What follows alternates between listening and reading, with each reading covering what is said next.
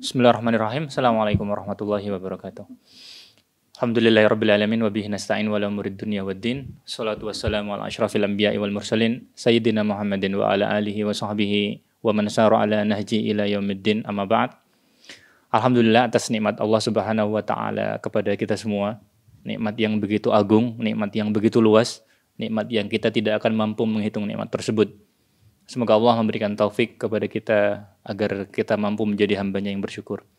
Salawat dan salam kita aturkan kepada Nabi Muhammad Sallallahu Alaihi Wasallam, pembawa risalah Islam yang telah menunjukkan kepada kita jalan yang hak, jalan yang terang, jalan yang tidak ada lagi keraguan di dalam jalan tersebut.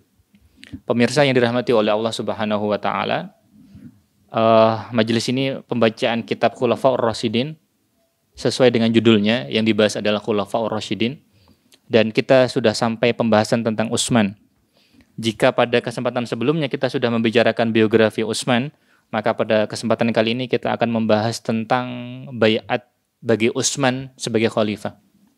Jadi bagaimana Utsman dibayat sebagai khalifah, bagaimana Utsman ditunjuk sebagai khalifah. Dan kemudian akan kita bahas setelahnya beberapa kebijakan penting yang ditempuh oleh Utsman bin Affan sebagai khalifah. Baik, kita mulai. Bismillah. Qala musannif Al-bai'ah li Utsman bil khilafah. Bagaimana Utsman dibaiat menjadi khalifah. Dibaiat berarti diminta oleh musyawarah dari ahlul hali wal aqdi. Ahlul hali wal aqdi berarti pemuka. Pemuka dan para pemimpin umat ini. Pemuka umat ini pada masa itu yang paling agung adalah 10 orang sahabat yang dijamin masuk surga oleh Rasulullah Shallallahu Alaihi Wasallam yang dalam istilah sering disebut dengan ashrah mubasyari nabil jannah.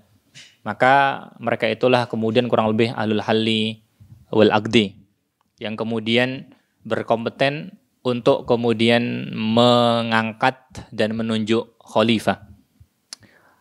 Uh, penulis menyebutkan, lama ina Umar bin Khattab biyadi Abi Lulu'ah al-Majusi talaba ba'dul muslimina minhu ayya'ahida bil khilafati liman yartadhihi wa yakhtaruhu. Ketika Umar bin Khattab radhiyallahu anhu sudah ditusuk oleh Abu Lulu'ah al-Majusi, kita tahu bahwa Umar meninggal antara hari Rabu atau hari Ahad dan wafat tiga hari kemudian sekitar itu. Maka ketika itu Umar diminta oleh sebagian kaum muslimin untuk menunjuk seseorang sebagai penggantinya sebagai khalifah dan khalifah kita tahu makna asalnya adalah pengganti ya. Jadi Umar diminta oleh sebagian kaum muslimin untuk menunjuk orang yang dipilihnya, untuk menunjuk orang yang diridhoinya. Fatarad dada Umar, namun Umar kemudian masih bimbang, ragu.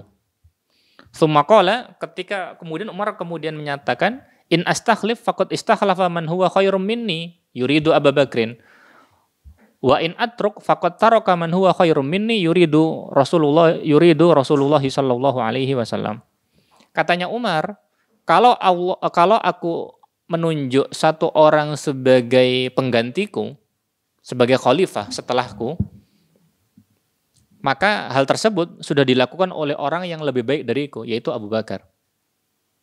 Kalau aku menunjuk satu orang sebagai khalifah yang kemudian menggantikan posisiku, maka hal tersebut sudah dilakukan oleh orang yang lebih baik dariku yaitu Abu Bakar. Taib. Maksudnya apa? Setelah ini kita jelaskan. Kita baca dulu. Wa in atruk, kalau aku tinggalkan dan tidak memilih seorang pun untuk menjadi khalifah, maka hal itu telah dilakukan oleh orang yang lebih baik dariku yaitu Rasulullah Shallallahu alaihi wasallam. Maksud dari kalimat yang pertama, katanya Umar, jika aku jika aku menunjuk seorang sebagai penggantiku, maka hal itu telah dilakukan oleh Abu Bakar. Karena sebagaimana sudah kita bahas sebelumnya, ketika Abu Bakar uh, sebelum wafatnya, Abu Bakar menunjuk Umar. Dan itu juga berdasarkan musyawarah dengan sebagian para sahabat ya. Sehingga Umar menunjuk uh, sehingga Abu Bakar menunjuk Umar. Sehingga tata cara pemilihan khalifah salah satunya adalah dengan menunjuk satu orang. Ini sudah dilakukan oleh Abu Bakar. Taib. Lalu kalau kemudian Umar kemudian juga mengatakan kalau aku tidak kalau aku kemudian tidak menunjuk seorang pun untuk menjadi penggantiku, maka hal ini sudah dilakukan oleh Rasulullah. Karena Rasulullah sendiri tidak pernah menunjuk seseorang sebagai penggantinya. Tidak Abu Bakar, apalagi kemudian misalkan Ali bin Abi Thalib, tidak sama sekali. Karena tidak ada nas yang terang-terangan menyebut Rasulullah itu menunjuk fulan atau alan sebagai pengganti Rasulullah, tidak ada. Kalau isyarat, betul ada isyarat. Ada isyarat misalkan kepada Abu Bakar, Abu Bakar ditunjuk menggantikan Rasulullah Shallallahu Alaihi Wasallam mengimami kaum muslimin sholat ya. Itu isyarat, tapi bukan bukan kemudian perintah terang-terangan Abu Bakar khalifah penggantiku. Tidak ada. Nah seperti itu tidak ada. Dalil seperti itu tidak ada. Sehingga yang ada hanya hanya isyarat saja. Baik. Jadi uh, Umar bin Khattab radhiyallahu taala anhu mengatakan demikian dan ini menunjukkan tata cara pemilihan khalifah dalam Islam. Ada cara pertama, misalkan kemudian dengan cara istikhlaf, menunjuk ya. Sebagaimana yang terjadi pada pemilihannya Umar. Abu Bakar menunjuk. Ada juga kemudian dengan sistemnya syuro, sebagaimana pemilihan Abu Bakar. Sebagaimana pemilihannya Abu Bakar. Tayyip. Nanti ada cara ketiga, istilahnya nanti caranya golabah ya. Golabah itu berdaulat. Tapi pembahasan itu mungkin lebih tepatnya nanti kita bahas bagaimana ketika zamannya Daulah Umayyah ya. Ketika zamannya Daulah Umayyah nanti ketika siapa namanya? Ketika kemudian Marwan Abdul Malik bin Marwan berkuasa, maka biasanya para ulama mencontohkan peristiwa tersebut. Semoga ada kesempatan untuk membahas hal tersebut. Sehingga dari sini kita mendapati dua tata cara pemilihan khalifah dalam Islam yaitu istikhlaf dengan penunjukan seseorang, yang kedua kemudian dengan syuro. Dan istikhlaf sendiri juga tidak lepas dari dari syuro ya.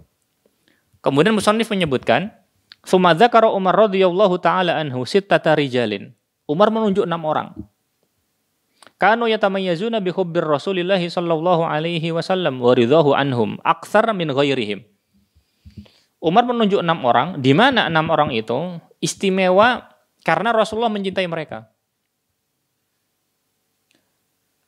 Alasan lainnya karena Rasulullah Shallallahu Alaihi Wasallam ridho dengan mereka dan kecintaan beliau kepada mereka dan juga keridhaan Rasulullah Shallallahu Alaihi Wasallam kepada mereka melebihi kecintaan Rasulullah kepada yang lain, melebihi keridhaan Rasulullah Shallallahu Alaihi Wasallam kepada yang lain.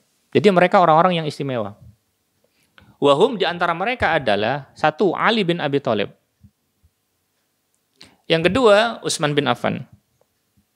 Yang ketiga, Abdurrahman bin Auf. Yang keempat, Sa'ad bin Abi Waqqas.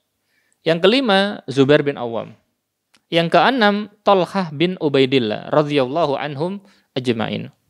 Kalau kita lihat, enam orang tersebut adalah termasuk bagian dari sepuluh orang yang dijamin masuk surga oleh Rasulullah Shallallahu Alaihi Wasallam, yang dalam istilah sering disebut dengan nama Ashroh Mubasyarina bil Jannah. 10 orang yang dijamin masuk surga.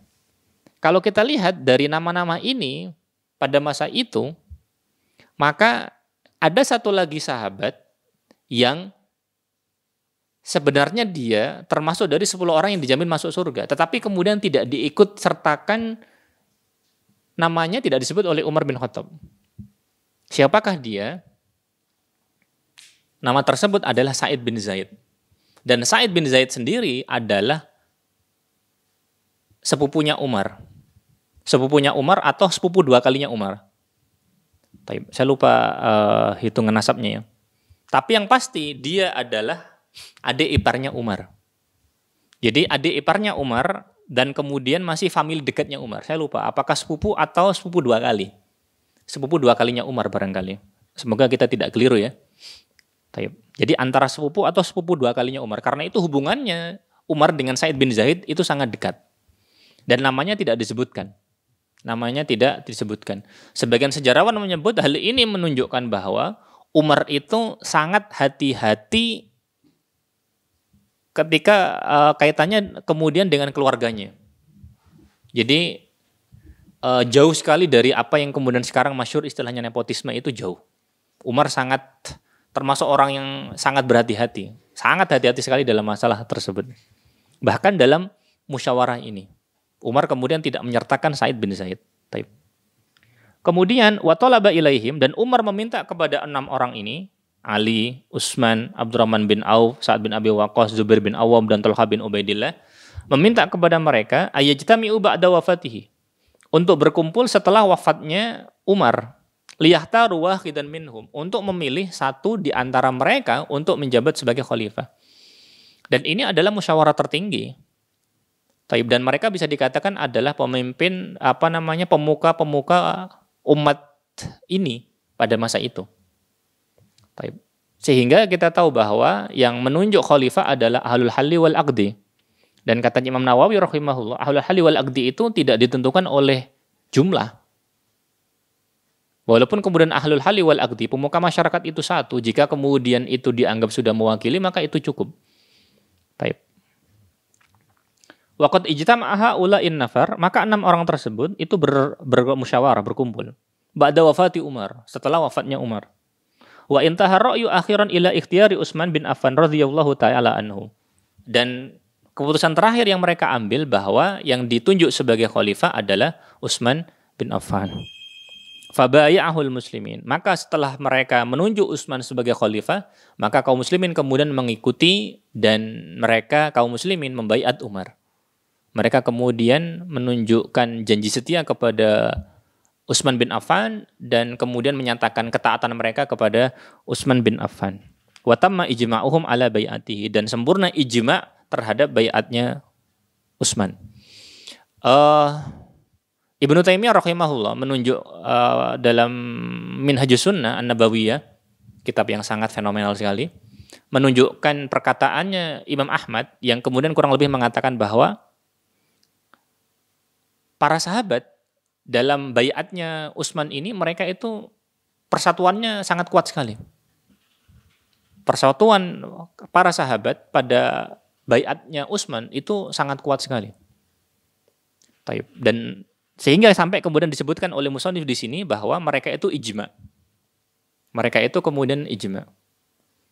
Taib. Kalau kemudian kita perpanjang masalah, kalau kemudian kita kembangkan masalah, ini sedikit di luar pembahasan ya. Sedikit di luar pembahasan bahwa faidah lain yang bisa kita ambil ketika kemudian para ulama mengatakan bahwa uh, bayat terhadap Utsman ketika para sahabat membayat Utsman untuk menjadi khalifah maka ini menjadi ijma'nya para sahabat.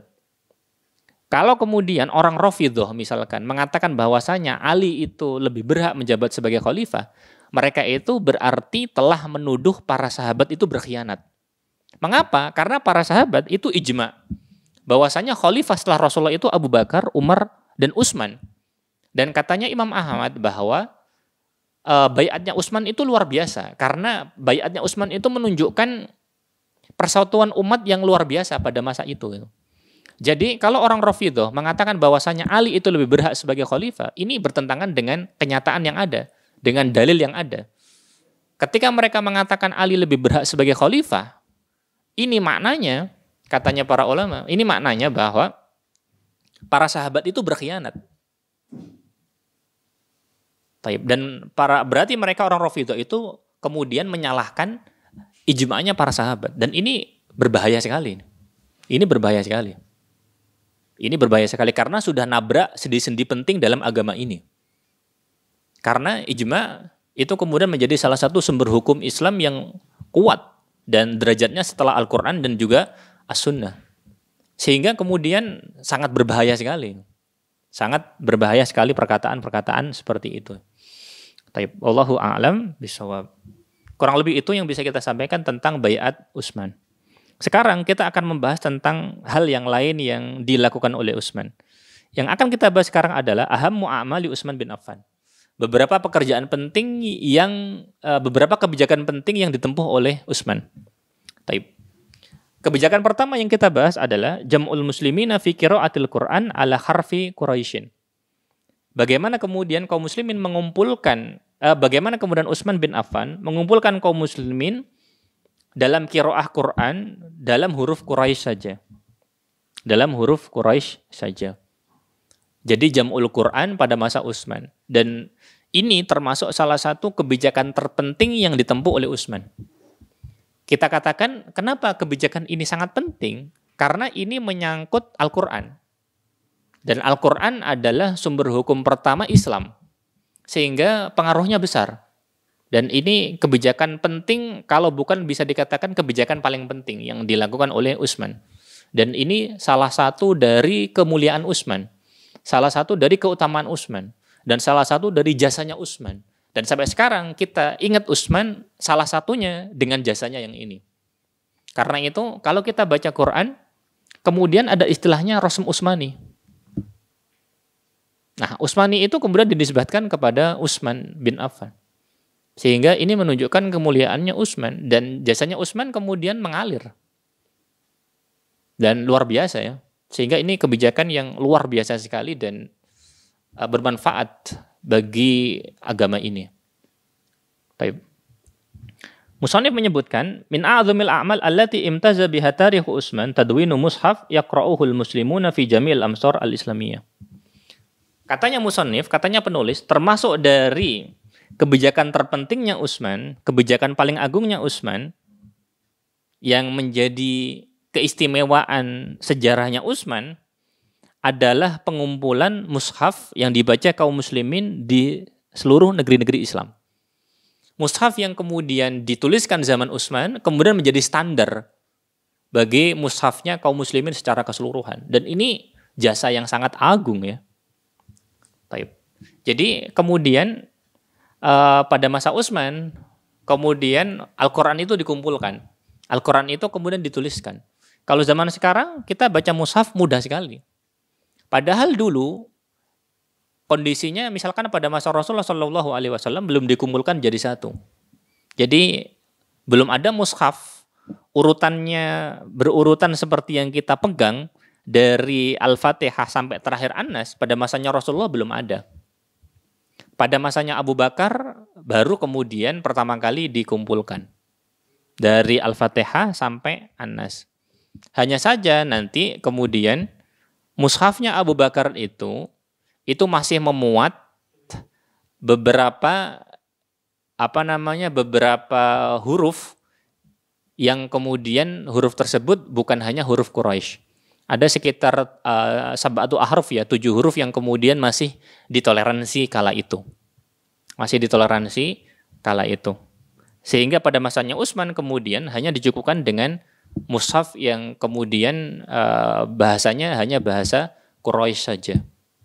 Baik. Karena dengan bahasa Quraisy lah itu kemudian Al-Qur'an itu diturunkan. Baik, kita baca wa yarji'us fi Kenapa kemudian Al-Quran itu dikumpulkan untuk kedua kalinya pada masa Utsman setelah sebelumnya pada masa Abu Bakar sudah dilakukan? Sebabnya adalah Anna Hudzaifah al-Yaman, seorang sahabat Nabi namanya Hudzaifah bin al-Yaman, sahabat yang masyur. Sami'a ikhtilafan fi qira'atil Qur'an yushaku ayyu adya ila ahtari fitnatin fi kitabillahi azza wa jalla. Jadi Hudzaifah bin al-Yaman radhiyallahu taala anhu mendengar perbedaan kaum muslimin dalam membaca Al-Quran, dalam kiroahnya Al-Quran. Yushaku ayu adya ila di fitnatin. Yang dikhawatirkan akan memicu fitnah yang paling besar. Kenapa fitnah yang paling besar? Karena perbedaannya itu perbedaan dalam membaca Al-Quran. Karena pada masa itu, pada awalnya, itu kemudian masih ditoleransi ada beberapa perbedaan ya, ada beberapa perbedaan bahasa itu, ada perbedaan huruf, mohon maaf, itu kemudian masih ditoleransi. Baik. Fa'alu Syam yaqra'una qira'at qira'atan wa yata'assabuna laha. Dan penduduk Syam itu mereka membaca Al-Qur'an itu kemudian dengan kiroah yang agak sedikit berbeda dengan sebagian dari kaum muslimin yang lain. Jadi pada waktu itu adalah ketika terjadi perang ketika kemudian kaum muslimin berjihad di Azerbaijan. Ketika berjihad di Azer Azerbaijan. Nah, termasuk dari personil pasukan yang ikut berangkat ke Azerbaijan itu adalah penduduk Syam. Penduduk Syam pada masa itu kemudian ketika mereka belajar membaca Al-Qur'an, eh ketika mereka membaca Al-Qur'an, sebagian dari bacaan Al-Qur'annya itu kemudian menggunakan uh, bahasa yang sedikit berbeda dengan yang lainnya. Wal Iraqiyun yaqra'una qira'atan wa yata'assabuna laha. Sedangkan orang Irak yang pada waktu itu juga ikut berjihad di Azerbaijan pada waktu itu di mana Hudzaifah ikut serta dalam peperangan tersebut. Cara bacanya orang Irak dengan cara bacanya orang Syam itu agak sedikit berbeda. Agak sedikit agak sedikit berbeda. Jadi mereka kemudian ada sedikit perbedaan bacaan. Uh, saya tidak paham ya bacaannya Syam itu ngikut sahabat siapa? Kalau bacaannya Irak ada kemungkinan ngikut Abdullah bin Mas'ud ya. Karena Abdullah bin Mas'ud bisa dikatakan gurunya orang orang orang Irak ya. Dan Abdullah bin Mas'ud itu kan orang Hudzail. Karena itu nisbahnya Al-Hudzali. Jadi ada perbedaan bacaannya. Ada perbedaan, ada perbedaan bacaan. Taib. Kita lihat di yang bawah di hasyiah ya, di footnote. Musonif menyebutkan Wasababu dzalika sebabnya annallaha ta'ala anzala ba'dhu ma'anil Qur'anil Karim bi'iddati alfat. Jadi sebabnya karena Allah Subhanahu wa taala menunjul apa namanya menurunkan beberapa makna Al-Qur'an dengan beberapa lafat qattasilu ila sab'ati ahyanan. Terkadang lafat itu kemudian bisa dibaca sampai tujuh bacaan. Jadi terkadang satu kata itu kemudian bisa dibaca sampai tujuh bacaan. Perbedaan versinya ya. Pada masa itu. Tashilan li ba'dil qabail. Untuk memudahkan beberapa kabilah. Taib. Allati la ta'rifu lafdha Quraisyin. Di mana beberapa kabilah itu belum mengenal lafad Quraisy. Qabla intisyari lugati Quraisy. Sebelum tersebarnya bahasa Quraisy. Wasyuyu'iha. Sebelum kemudian maraknya bahasa Quraisy. Jadi pada awalnya kemudian masih ditoleransi. Ada sedikit perbedaan di beberapa kata tertentu ya. Perbedaan sedikit kaitannya dengan Quran itu kan bahaya. Ini kaitannya dengan Quran ya. Sehingga ketika terjadi perbedaan sedikit pada masa itu kemudian mereka memicu perselisihan. Bil ahrufis sab'ah. Dan ini yang kemudian disebut dengan nama ahrufus sab'ah fi arjahi aqwali ahli ilmi dalam pendapat ahli ilmi yang paling benar. Sehingga pada masa itu ada sedikit perbedaan antara penduduk Syam dengan penduduk Irak dan mereka masing-masing kekeh dengan pendapatnya, ta'asub dengan dengan pendapatnya dan hal itu kemudian hampir memicu perpecahan di antara di antara mereka. Baik. Fafazia Hudzaifah lamma wa sami'a sehingga Hudzaifah kaget apa yang dia lihat dan apa yang dia dengar. Sehingga Udzaifa kemudian sangat khawatir dengan hal tersebut. Wa kana khina fi ihdal ghazawat. Pada waktu itu di salah satu upaya penahlukan perang di Azerbaijan ya insyaallah. Falamma raja'a ilal Madinah, ketika dia kembali ke Madinah, asra ilal khalifah Utsman. Dia kemudian segera menemui Utsman. Dikatakan dia tidak pulang ke rumahnya, dia langsung menemui Utsman. Wa asyara alaihi bitadwini mushafin dan kemudian mengisyaratkan, memberikan masukan kepada Utsman untuk mengumpulkan mushaf, menuliskan mushaf yaqra'uhu jami'ul muslimin. Satu mushaf standar yang kemudian dibaca oleh semua kaum muslimin tanpa terkecuali di mana pun dia berada. Fajama Utsman kibar sahabat. Maka Utsman kemudian mengumpulkan para sahabat kibar. Mengumpulkan pemuka sahabat pada masa itu. Wa minhum Zaid bin Thabit. Di antara mereka Zaid bin Thabit wa Abdullah bin Zubair, termasuk juga Abdullah bin Zubair, wa Sa'id bin Al-As, begitu juga Sa'id bin Al-As. Wa ahbarahum bima asyara bihi Khudzaifah fawafaquhu. Lalu kemudian Utsman ketika meminta pendapat mereka dan kemudian mereka mendengar alasannya Utsman, di antara yang diajak bicara oleh Utsman di antara mereka adalah Zaid bin Thabit dan kita tahu Zaid bin Thabit itu yang melakukan pengumpulan Al-Qur'an masanya Abu Bakar. Begitu juga kemudian ada Abdullah bin Zubair ada juga Said bin As. Nah, tiga orang ini nanti yang kemudian ditunjuk oleh Utsman ditunjuk oleh Utsman untuk kemudian mengumpulkan Al-Qur'an pada masa Utsman ini tadi. Zaid bin Thabit bukan orang Quraisy. Zaid bin Thabit adalah orang Ansor. Dia orang Khazraj kalau tidak salah. Abdullah bin Zubair Quraisy. Said bin Al-As Quraisy juga. Taib. Dan akhirnya kemudian mereka sepakat bahwa uh, mushaf yang harus dituliskan itu kemudian harus memiliki kriteria tertentu. Taib. Dan mereka yang pasti pada kesepakatan ini sepakat untuk menuliskan mushaf standar yang kemudian dipakai oleh semua kaum muslimin agar kemudian tidak ada perselisihan. Jangankan seperti itu pada masa sekarang. Pada masa sekarang perbedaan fikih saja bisa kemudian memicu perselisihan yang dalam. Apalagi kalau kemudian per, apa namanya perbedaannya dalam masalah membaca Al-Qur'an. Orang belum paham kan bahaya. Taib. Orang belum paham itu kan kemudian bahaya. Perbedaan fikih saja kadang kemudian menjadi apa namanya menjadi sebab perpecahan. Apatah lagi hal yang seperti ini kaitannya dengan dengan Al-Qur'an. Dikiranya bisa jadi sebagian orang yang tidak tahu mengira dia sudah merubah Al-Qur'an ya. Karena itu ini menjadi salah satu alasan kenapa kemudian menuntut ilmu itu penting bagi kaum muslimin? Agar dia kemudian betul-betul arif dalam menyikapi dalam menyikapi suatu hal. Karena dia kemudian tahu mana yang kemudian agama itu uh, kemudian kita kemudian harus tegas dan mana kemudian dalam hal tertentu yang kita kemudian hal-hal yang sifatnya kemudian masih ijtihadiyah ya. Sehingga kemudian kita harus kemudian arif ya dalam menyikapi hal tersebut. Jadi kita memang harus tegas dalam beberapa hal. Harus tegas dalam beberapa hal. Kita kemudian harus tahu tentang hal tersebut ya. Dan kita harus merujuk kepada ulama dalam masalah tersebut. Kapan kita kemudian toleran, kapan kita kemudian harus tegas, dan kita kemudian juga di sisi lain harus menyampaikan bahwa tegas itu tidak sama dengan keras. Sekali lagi, tegas itu tidak sama dengan dengan keras. Taib. Kemudian wa arsala Utsman ila Sayyidah Hafsah zauji Rasulillah sallallahu alaihi wasallam wa ibnati Umar bin Khattab yatlubu minha as-suhuf allati kudibat fi ahdi Abi Bakrin.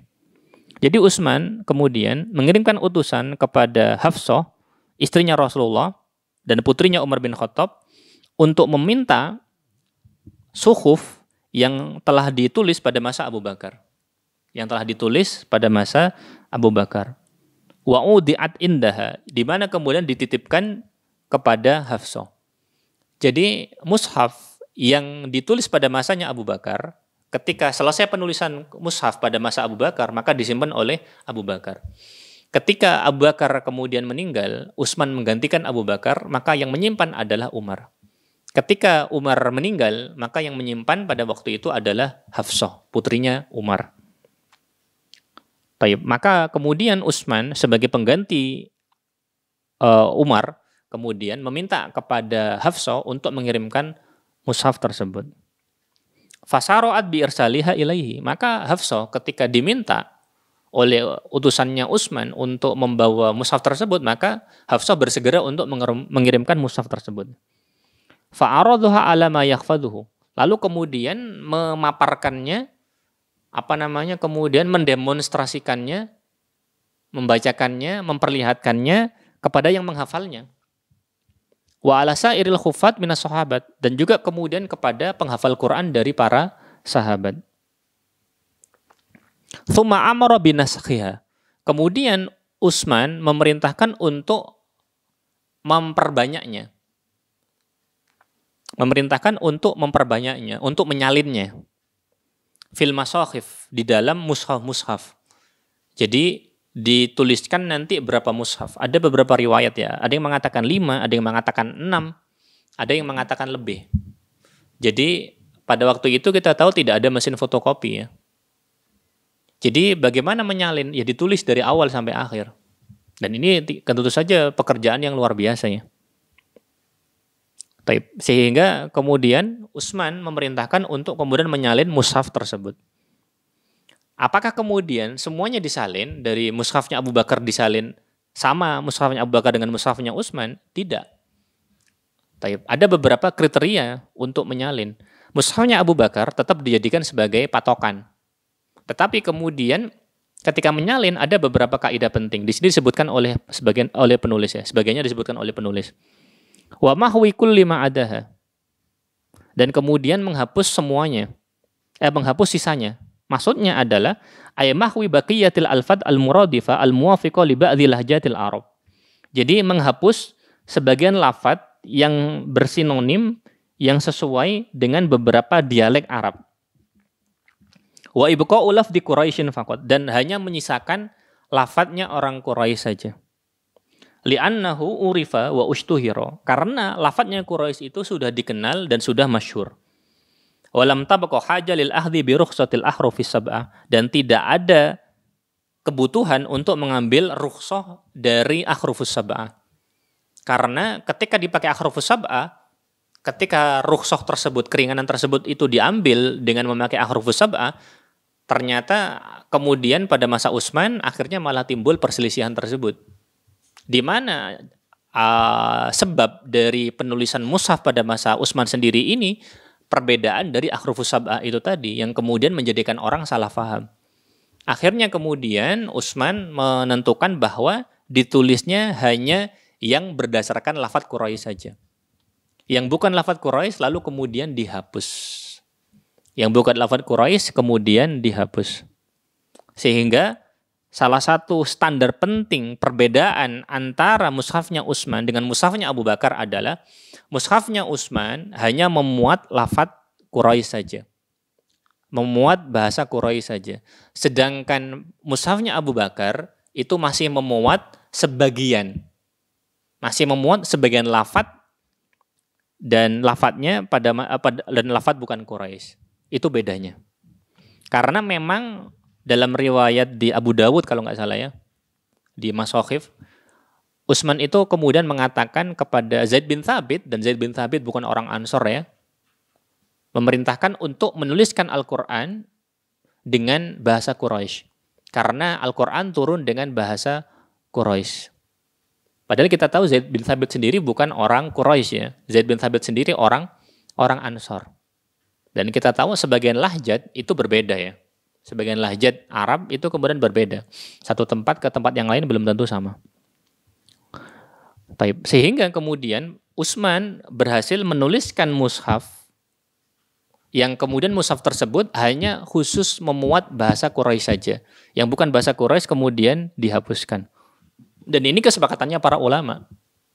Dan ini kesepakatannya para ulama. Jadi kalau ada orang mencela Utsman karena kemudian Utsman menghapuskan uh, lahjat, menghapuskan lafat yang bukan Quraisy, maka ini bukan celaan bagi Utsman. Justru ini kemuliaan bagi Utsman. Ini jasanya Utsman. Dan ini suatu hal yang kemudian sangat berharga sekali. Dan ini tidak bisa diremehkan karena ini bermanfaat bagi agama kita. Dan Utsman kemudian berhasil menyelamatkan umat dari potensi perpecahan, dari potensi fitnah yang sangat besar sekali kemungkinannya terjadi sebagaimana kemudian dikhawatirkan sebelumnya oleh Hudzaifah bin Al-Yaman yang menyaksikan perselisihan tersebut. Sehingga ini jasanya Utsman. Kemudian warsala nusakhon warsala nusakhon minal mushaf al-jadid lil amsar al-islamiyah lil qira'ah fihi duna ghairihi. Sehingga kemudian beberapa dari mushaf tersebut, jadi menuliskan beberapa mushaf dengan kaidah yang sudah disebutkan tadi, terut yang paling terutama kaidahnya adalah hanya mencukupkan diri dengan lafat Quraisy saja. Jadi dikirimkan beberapa salinan. Dikirimkan ke daerah ini satu salinan, ke daerah ini satu salinan, ke daerah yang lain satu salinan, ke daerah yang lain satu salinan. Tapi tergantung dari perbedaan riwayat beberapa salinan yang kemudian dikirimkan. Ada yang menyebutkan lima salinan, ada yang menyebutkan enam, ada yang menyebutkan lebih ya. Allah alam. Dan itu dikirim ke negeri-negeri Islam untuk dibaca. Duna ghairihi tanpa yang lain. Duna ghairihi tanpa tanpa yang lain. Sehingga yang dipakai hanya itu saja. Yang itu kemudian insya Allah kita kenal dengan Rasul Utsman itu tadi. Taib. Walakad aksana Utsman sun'an bihadzal amal al-jalil. Dan Utsman sungguh sangat bagus sekali dalam kebijakan ini dan ini kebijakan yang agung, kebijakan yang mulia, kebijakan luar biasa, kebijakan yang bermanfaat bagi umat dan bermanfaat sebelumnya bagi bagi agama. Sehingga hal ini bukan celaan bagi Utsman. Hal ini justru kemuliaan bagi bagi Utsman. Dan kemudian Utsman uh, memerintahkan untuk membakar yang lain. Kenapa yang lain kemudian dibakar? Karena dikhawatirkan malah memicu perselisihan kembali. Dan kita tahu bahwa persatuan itu yang kita inginkan bersama-sama. Karena kalau kemudian uh, perselisihan itu tetap dipelihara, maka bisa jadi kemudian akan menimbulkan fitnah sebagaimana sudah di uh, sudah dikhawatirkan sebelumnya oleh Hudzaifah. Dan kita tahu bahwa motivasi penulisan mushaf pada masa Utsman adalah kekhawatiran perpecahan ketika terjadi perbedaan kiroah di antara penduduk Syam dan juga penduduk Irak. Baik. Kemudian Musonif menyebutkan falakot jama al-Qur'an al-Karim wa khada. Utsman telah mengumpulkan Al-Qur'an. Utsman telah mengumpulkan Al-Qur'an dan kita tahu ini salah satu jasa terbesarnya Utsman. Dan kita tahu kenapa jasa ini besar karena terkait dengan Al-Qur'an. Taib. Wa wahada qira'atahu dan kemudian menyatukan qiraah Al-Qur'an, hanya mencukupkan diri dengan bahasa Quraisy. Karena uh, Al-Qur'an turun dengan bahasa bahasa Quraisy. Sehingga kemudian yang dipakai kemudian hanya bahasa Quraisy. Dan ini itu berdasarkan ijma'nya para sahabat. Jadi tidak layak kalau ada orang menyalahkan Utsman karena Utsman melakukan ini dengan musyawarah. Bukan kemudian dengan Utsman melakukannya sendiri one man show, melakukannya sendiri tanpa pembicaraan dengan sahabat tidak demikian. Utsman bermusyawarah dengan para sahabat dan para sepakat ijma. Kemudian dengan apa yang dilakukan oleh Utsman, kebijakan Utsman itu berdasarkan ijma rapatnya para sahabat hatta la yatatarraq ilaihi tahrif atau taghyir. Sehingga tidak ada penyelewengan, tidak ada perubahan di dalam Al-Qur'an. Dan kemudian Utsman berhasil menjauhkan umat dari perpecahan. Dan uh, apa namanya? Jasanya Utsman sampai sekarang ini yang kemudian masih dipakai sampai sekarang juga. Wa hatta qaulullahi subhanahu wa ta'ala sehingga terwujud firman Allah Subhanahu wa taala inna nahnu nazzalna dzikra wa inna lahu lahafidun. Dan sungguh kamilah yang kemudian menunjuk, uh, menurunkan adzikr yaitu Al-Qur'an. Sebagian ulama menyebutkan bahwa adzikr itu termasuk di dalamnya hadis. Wa inna lahu lahafidun dan kamilah yang kemudian menjaganya. Sehingga Allah Subhanahu wa taala menjaganya dengan memberikan taufik kepada orang-orang tertentu untuk kemudian menjaga Al-Qur'an. Maka zaman sekarang Allah Subhanahu wa taala memberikan taufik kepada umatnya untuk kemudian menghafalkan Al-Qur'an. Dan itu kemudian menjadi sebab bahwa Al-Qur'an itu terjaga. Karena itu para penghafal Quran mereka adalah para penjaga-penjaga Al-Qur'an. Dan mereka kemudian Allah berikan taufik kepada mereka untuk menjaga menjaga Al-Qur'an ini. Dan kita tahu bahwa Al-Qur'an itu kemudian tetap terjaga kalau kemudian ada orang salah, keliru misalkan, maka yang lain akan membetulkan karena mereka paham. Mereka tahu bahwa terjadi kesalahan atau kekeliruan dalam membaca dalam tulisan misalkan, itu akan tahu. Dan Al-Qur'an akan terjaga nanti sampai hari kiam, uh, sampai uh, waktu yang kita tidak tahu itu kemudian uh, Allah Subhanahu wa taala menjaga. Kita tahu hal ini berbeda dengan kitab yang lain ya. Karena kitab suci yang lain kemudian uh, Taurat atau Injil itu tidak mendapatkan jaminan seperti jaminan yang Allah berikan kepada kepada Al-Qur'an. Sehingga Taurat misalkan, Injil misalkan, itu kemudian banyak perubahan, banyak penyelewengan baik di dalam nasnya, di dalam teksnya, begitu juga di dalam maknanya. Dan Al-Quran tidak demikian. Dan Allah Subhanahu wa Ta'ala memberikan taufik kepada sebagian umat Islam untuk kemudian menjaga Al-Quran ini. Baik kemudian menjaga lafadznya dan juga kemudian menjaga makna-maknanya. Taib Allah Ta'ala alam bisawab. Kita akhiri. Semoga Allah Subhanahu wa taala memberikan taufik kepada kita untuk mampu meneladani Rasulullah sallallahu alaihi wasallam dan juga meneladani para sahabat. Kurang dan lebihnya mohon maaf. Subhanakallahumma wa bihamdika asyhadu an la ilaha illa anta astaghfiruka wa atubu ilaik. Assalamualaikum warahmatullahi wabarakatuh.